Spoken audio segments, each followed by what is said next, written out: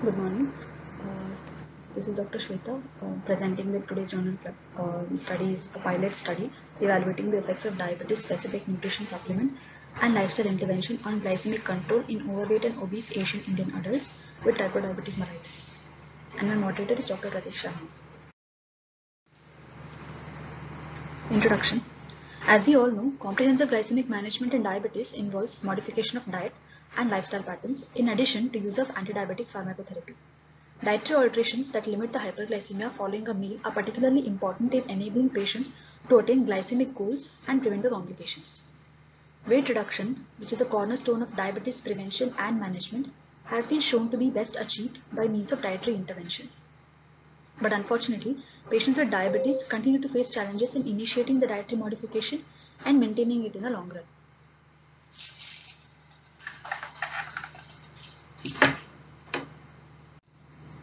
Foods with a low glycemic index are preferred in individuals with diabetes as they have clinically valuable impact on glycemic control. Data on the ideal total dietary fat content for people with diabetes are inconclusive. Uh, although there is an uh, eating plan which is rich in uh, monounsaturated and polyunsaturated fatty acids which may be considered to improve the glucose metabolism and lower the cardiovascular uh, disease risk. To ensure that dietary consistency in diabetic patients, uh, it might be worthwhile to prescribe a ready-to-use formula or a diabetic-specific nutrition supplement which plays a supplementary role uh, to drug treatment to prevent uh, glucose excursions.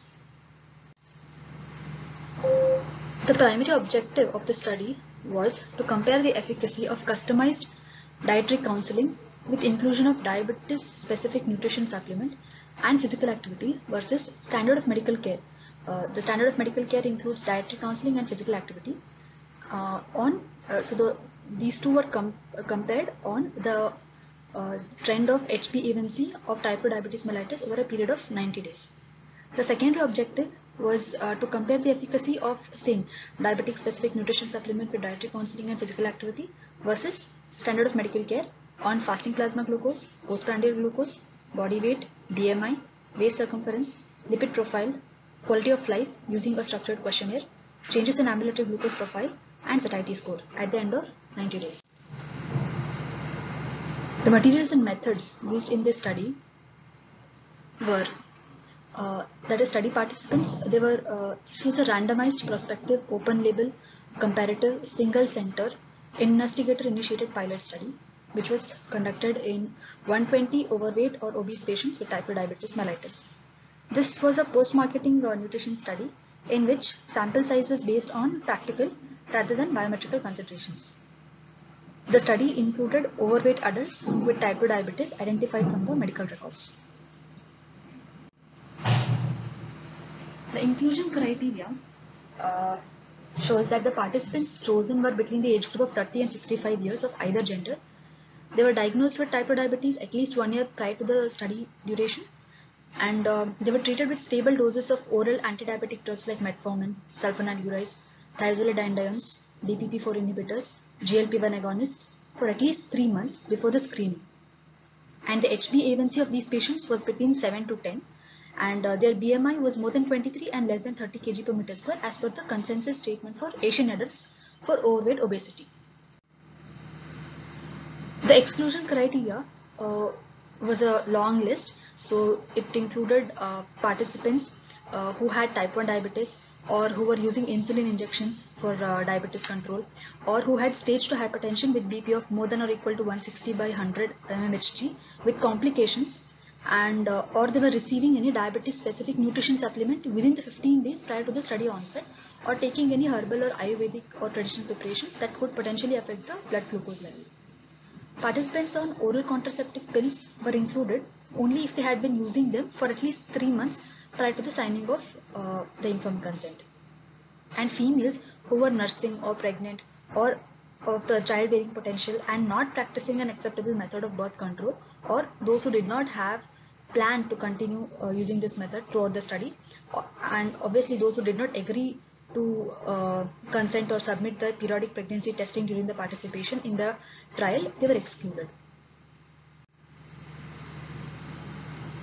Patients who had an evidence or history of clinically significant hematological, renal, endocrine, pulmonary, gastrointestinal, cardiovascular, hepatic, psychiatric, neurological or allergic diseases uh, were excluded such as uh, if the hemoglobin was less than 12 grams in males or less than 10 grams in females or platelets were less than 1 lakh or WBC count less than 4000 or more than 14000 fasting plasma glucose um, uh, uh, which included an 8 hour fasting glucose of more than 270 uh, milligrams per deciliter or of 12 hour fasting LDL cholesterol of more than 160 and 12 hour fasting triglycerides of more than 500 were excluded.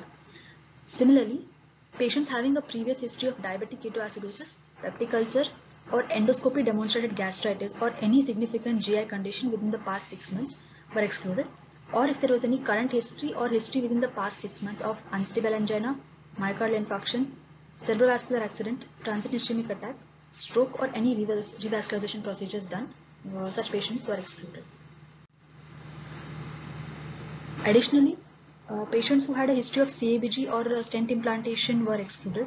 Clinically significant peripheral vascular disease or congestive heart failure, that is NYHA class 2 to 4, or a 12-lead ECG demonstrating a QTC interval of uh, more than 450 milliseconds, that is prolonged QT interval, and uh, impaired hepatic function, that is SGOT more than 3 times the upper normal limit or SGPT more than 3 times the upper normal limit, a total bilirubin of more than 1.5 times the upper normal limit in the past one year, uh, or if there is any history of jaundice in the past one year, Serum creatinine of more than 1.4 for women and 1.5 for men in the past one year.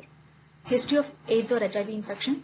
History of severe diabetic neuropathy including autonomic neuropathy, gastroparesis or lower limb ulcers or amputation or evidence of history or evidence or history of diabetic complications with significant end organ damage. And uh, any patients having an illicit drug or alcohol abuse in the last one year were also excluded. Coming to the dietary intervention, the eligible participants with a BMI of more than 23 uh, or less, but less than uh, or with equal to 26.9 kg per meter square advised to consume one serving. So these patients were overweight according to the Asian uh, uh, BMI classification. So uh, they were advised to consume one serving which, which was 52 grams of diabetes specific nutrition supplement mixed in 200 ml of water either at lunch or dinner. and participants with a BMI of more than 27 but less than 30 uh, kg per meter square which were considered obese uh, were advised to consume two servings of uh, diabetes specific nutrition supplement mixed with 200 ml of water at lunch and or dinner as a part of their prescribed standard diet for diabetes. So this diabetes specific nutrition supplement is a meal replacement therapy.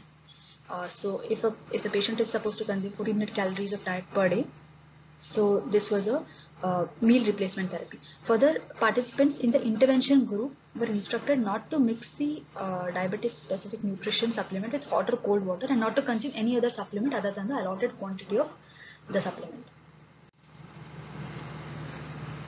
Compliance of with the supplements was assessed using dietary 24 hour recall collected by trained dietitians in a face-to-face -face interview. So uh, an average of three recalls were collected during the 12 week intervention and uh, that recall diet was compared with the baseline and uh, also the participants in the intervention arm were asked to return the empty sachets of uh, supplements received every month. So this is an overview of the uh, timeline of the participants uh, showing how they progressed. So the eligible participants were identified from medical records uh, and 120 of number of patients were selected. After a one week run-in period means uh, the patients were uh, counseled, they were explained about the procedure and uh, they were uh, uh, assessed upon on their willingness to continue the study. So and some trials were also given, trials or supplements. So after after their consent and a one week run-in period, the patients were allotted into two groups that is control group and intervention group uh, consisting of 60 participants each. The patients in the control group received dietary counseling and physical activity as well as flash glucose monitoring. Whereas patients in intervention group along with dietary counseling, physical activity and flash glucose monitoring, they also received uh, diabetes specific nutritional supplement. So they were followed up for 12 weeks that is 3 months. Uh, the dropout rate in control group was 12 and uh, the dropout rate in uh, intervention group was 16. So around 80% of the control group completed the study and 73% of the intervention group completed the study. Uh, the various reasons why they uh, why the dropouts uh, were not uh, could not complete was either they could not they did, they did not come for follow-ups or they started insulin medications or there were some personal reasons and one person had a skin allergy. So Coming to the outcome assessments, anthropometric measurements including uh, anthropometric measurements were assessed at the um, uh, end of each month and also at the end of study. So uh, the measurements such as body weight, height, waist circumference were measured at baseline once a month and at the end of the study according to standard protocols. Uh, and uh, using these uh, BMI was calculated. Similarly, BP was also measured and on each occasion BP was measured twice at 5 minutes intervals and the average of the two readings was taken as a reading. Uh, biochemical data was uh, also measured that is fasting 8 hour fasting glucose as well as postprandial venous blood glucose samples were collected at baseline and on visit 2 that is at the end of 1 month plus or minus 3 days visit 3 that is end of 60 days plus or minus 3 days and visit 4 that is end of 90 days plus or minus 3 days into tubes containing EDTA as the anticoagulant. Similarly, HbA1c, total cholesterol, triglycerides, HDL cholesterol, SGOT, SGPT, urea creat was also assessed at baseline and at the end of the study. Ambulatory glucose profile assessment was done uh, using a Freestyle Libre Pro flash glucose monitoring system. Uh, this was uh, developed by Abbott. So it consisted of a reader and a sensor. The sensor was inserted in the back of the upper arm and was used to analyze the interstitial fluid glucose levels in consenting subjects for ambulatory glucose profile assessment. The interstitial fluid glucose levels were assessed at the beginning and at the end of two weeks of the study as a measure of the participant compliance. This profile recorded the glucose reading every 15 minutes over a period of 24 hours for 14 consecutive days and the 14 days were in the beginning of the study and at the end of the study period. Coming to statistical analysis, statistical analysis was performed using SAS 9.2 version. The normally distributed data was given as mean plus or minus standard deviation and as median and interquartile range for the non-normally distributed data. Baseline demographics and clinical characteristics were estimated using independent t-tests for continuous variables and Pearson chi-square test for categorical variables. Repeated measure ANOVA was used to assess the within group change in anthropometric and blood parameters at different points of time. The intersubject differences in health measurements and blood parameters between baseline and 3 months were analyzed using paired sample two-sided tests. The differences between the intervention and control group were assessed using the linear models with robust variance estimation under an assumed independence working correlation. The mean 24-hour interstitial glucose values and incremental area under the curve for glucose over the 14-day period at baseline and the end of the study was calculated for the intervention and control group. Using this graph, mean amplitude of glycemic excursion was calculated to assess the glycemic variability using a validated algorithm. So after uh, uh, uh, after designing a graph for the uh, area under the uh, incremental area under the curve of glucose, they calculated uh, something called a mean amplitude of glycemic excursions in the beginning, uh, in the starting two weeks and the end of the two weeks of the study. And uh, using this uh, glycemic excursions, they calculated the glycemic variability of the patients. So glycemic variability is also one of the independent predictors of complications of diabetes apart from HbA1c. Coming to the results, a total of 120 participants, that is 60 in each arm, with a comparable gender dispersion, were recruited in the study. Randomization was done using sealed envelopes containing subject group assignment. A total of 48, that is 80% response rate was seen in the control arm and 44, that is 73.3% response rate was seen in the intervention arm uh, of the study. The mean age of the participants in the control arm was 50 plus minus 8 years and the mean age in the intervention arm was 49 plus or minus 7.5 years. This is the table showing the baseline characteristics of the study participants. Uh, we can see that uh, there was uh, a significant uh, difference between the uh, uh, control and intervention group with respect to the diabetes drugs uh, used. Uh, other than that, there was no significant uh, difference seen.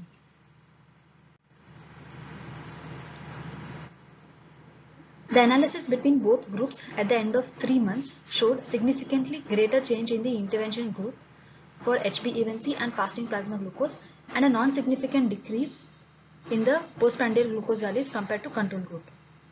There was no significant inter or intra-group differences noted for anthropometric, blood pressure and other biochemical parameters.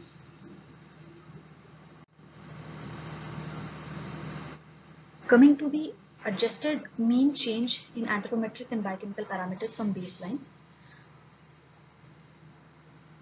uh, we can see that uh, in the intervention group there is a significant reduction in the fasting plasma glucose at the end of the study period, which was clinically significant with a p-value of 0.02. Also, uh, HbA1c also showed a significant reduction in the intervention group with a p-value of 0.03. Uh, whereas fasting plasma, whereas postprandial plasma glucose uh, was uh, reduction was not clinically significant with a p-value of 0.1. So this is a graph showing comparison of uh, mean HbA1c between the control and the intervention group at various time points. Actually, HbA1c can be measured uh, is measured at the end of three months, but this this is showing the time time period uh, or the or the trend of HbA1c uh, for nine uh, over the period of 90 days. So, but at but uh, when we measure uh, the significance at the baseline and at the end of the study period of 90 days, there was a significant reduction of HbA1c in the intervention group. Similarly, when we compare the mean fasting plasma glucose between control and intervention at various time points, uh, we see that uh, there was a significant reduction in fasting plasma glucose. The bold line represents the intervention group, whereas the dotted line represents the control group. The mean 24-hour glucose values of interstitial glucose, which was assessed by the ambulatory glucose profile, significantly decreased in the intervention group from baseline but it significantly increased in the control group from baseline. So there was a significant reduction in mean change in uh, incremental area under the curve from baseline in the intervention group. So this is a graph showing uh, daily incremental area under the curve from baseline between the groups. So the bold line uh, shows the intervention group and the dotted line shows the control group. We can see that uh, compared to the baseline that is zero, there is significant reduction of uh, plasma glucose uh, in the intervention arm compared to the control arm.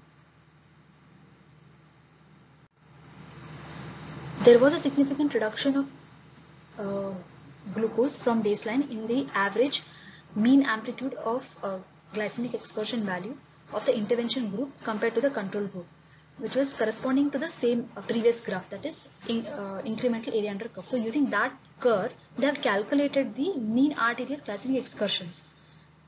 Uh, so area under the curve will just plainly tell the glucose values, whereas uh, glycemic excursions will tell the uh, difference between the uh, the normal limit of glucose and the level of the glucose. So these findings also provide additional evidence for compliance to the consumption of uh, the diabetic specific nutrition supplements as partial meal replacement by the intervention group. So this is a graph which is showing the uh, mean amplitude of glycemic excursion from the baseline in the intervention control arm. Intervention arm is the bold line uh, and dotted arm is the dotted line is the uh, control arm. You can see that uh, the bold line uh, the variability in the bold line is quite closer to the baseline compared to the variability in the dotted line. So it shows that the glycemic excursions or uh, variabilities in the glucose levels uh, in which was measured over 24 hour period uh, was less in the uh, intervention group compared to the control group. So there was no significant difference between both between and within the control and intervention group for types and numbers of OHA consumed per day. Uh, while majority of the participants in both the groups reported no change in their medications from baseline, a greater proportion of subjects in intervention group reported a reduction in OHAs during the course of the study as compared to subjects in the control group. Coming to discussion, the analysis showed that HbA1c was significantly lower after the use of diabetes-specific nutrition supplement combined with dietary counseling and physical activity when compared to dietary counseling plus physical activity alone. So the intervention group showed significant lowering of HbA1c and fasting plasma glucose and a near significant lowering of the plasma uh, postprandial glucose compared to the standard of medical care. This could be because the subjects in the intervention group received higher fiber through the dietary supplement and a part of the daily calorie replacement with a low glycemic index supplement. This effect is particularly important uh, in diabetes management since prolonged excursion of postprandial glucose is shown to be associated with overproduction of oxygen free radicals, vasoconstriction and increased circulating levels of pro-inflammatory cytokines that may contribute to cardiovascular complications. So reduced postprandial glucose levels leads to a lower need for anti-hyperglycemic medications as well as a lower uh, risk of diabetes complications. The mean amplitude of glucose excursion was designed to capture the mealtime related glucose excursions. So Monnier and Colette proposed a uh, mean amplitude of glucose excursion value of 40 as a target level of glycemic variability. And they found that the glucose variability was an independent predictor of chronic diabetes complications in addition to HbA1c. So in our study, the glycemic variability calculated as uh, MAGE group using AGP showed a significant reduction in the intervention group compared to the control group. So the p-value was 0.04 uh, which showed that the glycemic variability in intervention group was clinically significant which was clinically low, uh, significantly lower in the intervention group which suggests that which also suggests that there is a good compliance of the intervention group to the consumption of uh, diabetic supplements as partial meal replacement. So to conclude the study, uh, the present study concludes that the customized dietary counseling along with inclusion of diabetes specific nutritional supplement and uh, physical activity over a period of 90 days is helpful in improving the glycemic control in Indian overweight and obese adults with type 2 diabetes as compared to standard of medical care alone. These are some of the studies which are uh, done uh, uh similarly. Uh, this is a study done in China by uh, Shi et al. it is a structured lifestyle intervention based intervention based on a transcultural diabetic specific nutrition algorithm in individuals with type 2 diabetes which was a randomized controlled trial. Uh, here uh, it was uh, 230 patients uh, who were overweight or obese who were also having type 2 diabetes uh, uh, with an HbA1c of 7 to 11 percent received the received diabetic counseling as well as they were prescribed diabetic supplements or diabetic treatment plan according to the cultural transcultural diabetes specific uh, nutrition algorithm. And the study was done uh, for a period of six months. So the, the intervention consisted of uh, low calorie meal uh, diabetes specific meal replacements and increased physical activity. And the participants were counseled through either motivation interviewing or conventional counseling. And uh, all the patients were followed up for six months. Uh, at the end of six months there was a significant reduction in HbA1c and uh, similarly body weight decreased significantly and uh, they had uh, significantly lower fasting plasma glucose and systolic blood pressure. This is a study uh, again done by Sun et al. in China uh, which shows an integrated intervention program to control diabetes in overweight Chinese women and men with type 2 diabetes. Uh, this study also was done in uh, diabetic patients with a BMI of more than 23. Uh, it was done over a period of 24 weeks. Uh, the uh, intervention group, uh, the reference group received only diet and physical activity instructions, whereas the intervention group received intensive intervention like diabetes education, frequent glucose monitoring, nutrition counseling, as well as meal plans with diabetes specific nutrition meal replacements. So they were assessed at regular intervals and uh, this study also showed there was a significant reduction in HbA1c. In fact, in this study, uh, HbA1c uh, uh, showed a significant uh, reduction at the uh, at 12 weeks itself. So it was almost a half half study period. After almost half study period, there was a significant reduction in HbA1c. whereas weight loss was modest, but significant differences were observed between the groups, and there was additionally uh, reduction in the waist and hip circum waist and hip circumferences and waist hip ratios. This is another study done by Mottalib, which shows that which showed the impact of diabetes specific impact of diabetes specific nutritional formulas versus oatmeal on postprandial glucose uh, excursions, insulin, uh, glucagon like peptide 1 and postprandial lipidemia. So what they did was uh, uh around 22 overweight and obese patients after overnight fasting, they uh, who were who were also type, having type 2 diabetes, they received uh, 200 kilocalories of each of these three meals. So the the three meals uh, were uh, Glucerna, ultra glucose control and oatmeal preparations.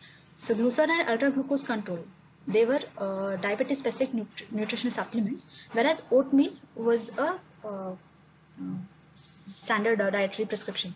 So uh, the patients uh, were uh, the patients received 200 kilocalories of each of these three meals on three separate days in random order.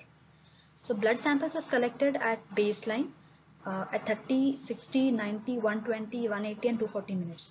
And uh, the glucose under, uh, area under the curve was uh, formulated and uh, it was seen that after consuming uh, Glucerna and ultra glucose control supplements, they, they are the diabetes specific supplements, there was a significant reduction in the glucose levels. Where also insulin positive area under the curve at 120 minutes was higher than after the oatmeal preparation.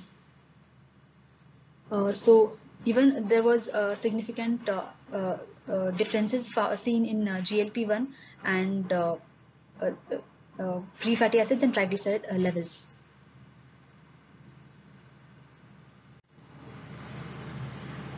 This was a study uh, done to know the uh, economic uh, feasibility of using a diabetic specific nutritional replacement therapy uh, over long term. So this was a computer simulated study uh, which uh, shows which which was done using a, a validated computer simulation of type diabetes based on published data from major trials.